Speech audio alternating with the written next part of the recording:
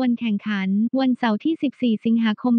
2021 คืนวันศุกร์ที่ 13 เวลาแข่งขัน 2 นาฬิกาตามเวลาประเทศไทยสนาม Brentford Community Stadium ส่งส่งส่งบอลไปถึง เทียนี่เปิดได้สวยผู้รักษาประตูคว้าเอาไว้ได้โอเดกาดน่าจะแก้ปัญหาตรงนี้ได้แต่หากสมิธโรจะต้องหลีกทางให้กับเขาในตำแหน่งหมายเลข 10 มันจะคุ้มกันไหมหากพิจารณาว่าในค่ำคืนนี้ผลงานของเขาดูจะโดดเด่นที่สุดแล้วในแผงกองกลางของอาร์เซนอลอาร์เซนอลใช้เงินไป50 ล้านปอนด์เพื่อนำเบนไวท์เข้ามาแก้ปัญหาเกมรับที่เห็นได้อยู่บ่อยๆ เมื่อฤดูกาลที่แล้ว แต่จนแล้วจนรอดเขาก็ยังไม่ใช่คำตอบที่ถูกต้องเสียทีเดียวจริงอยู่ที่เราอาจจะด่วนสรุปจนเกินไป เพราะนี่เป็นเพียงเกมแรกของเขาอย่างเป็นทางการกับทีมใหม่ แต่ไม่ใช่แค่ไวท์เท่านั้นที่มีปัญหาเพราะทั้งมารีและแชมเบอร์เองก็ย่ำแย่ไม่แพ้กันเลยแบร์นด์เลโน่ไม่มีปัญหาตราบใดที่เขาใช้มือเพียงอย่างเดียวอย่างไรก็ตาม การเปิดเกมของเขาแย่มากโดยเฉพาะเวลาโดนกดดันเขาก็พร้อมที่จะแจกจ่ายบอลไปอย่างมั่วซั่วและทำให้ทีมเสียเปรียบได้อยู่เสมอแรมส์เดล กับมูลค่า